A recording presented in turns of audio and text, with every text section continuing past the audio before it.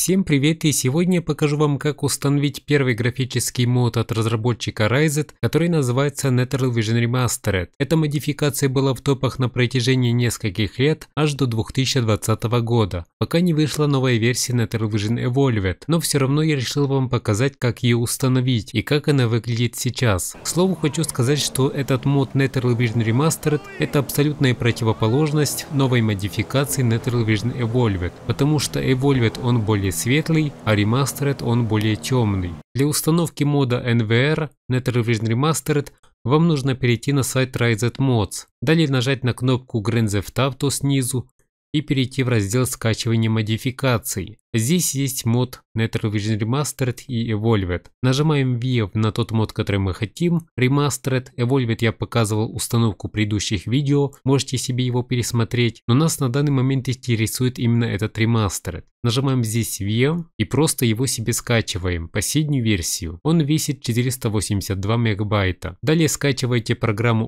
Open4 с этого сайта. Вас перебросит на официальный сайт и вы скачаете ее. Сейчас просто запускаем программу OVZTube, нажимаем русский, продолжаем, принимаем все условия, соглашаемся, путь установки не меняется, продолжаем, нажимаем да. Программа загружается и устанавливается. После этого закрываем и запускаем ярлык, который у нас появился на рабочем столе. Нажимаем Windows, указываем путь к нашей версии GTA 5, Grand Theft Auto 5 папка и выбор папки.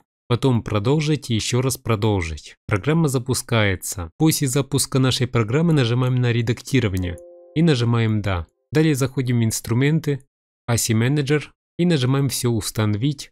«Да» нажимаем и «Установить». И закрываем. Далее сюда нужно установить NVR, наш мод на графику. Открываем NetherVision Remastered и сюда в эту папку Open4 просто переносим этот NetherVision Installer UU.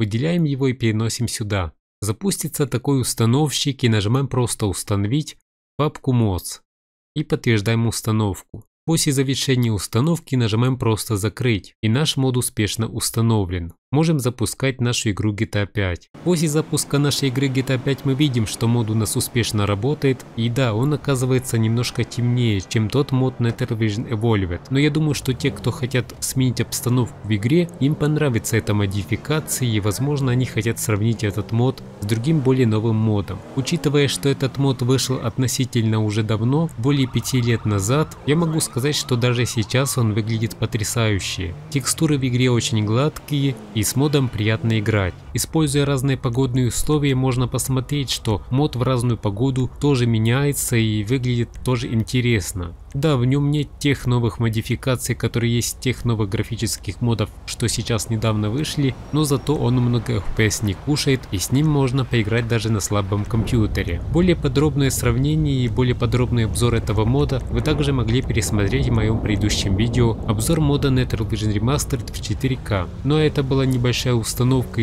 инструкция по установке этого мода. Если вам это видео понравилось, подписывайтесь на канал и ставьте лайк. Всем спасибо за просмотр.